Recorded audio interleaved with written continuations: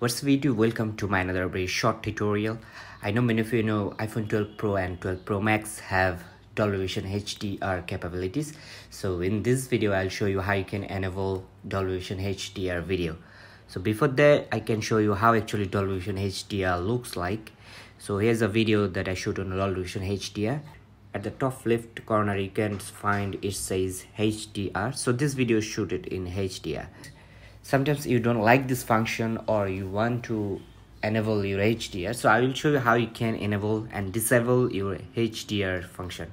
So simply just go to setting and go to camera app find your find your camera app then you can go to record video. So in that in that option you can find HDR video. You can switch on you also can switch off. So uh, you can shoot HDR video. Now it's disabled. So that's it. Bye bye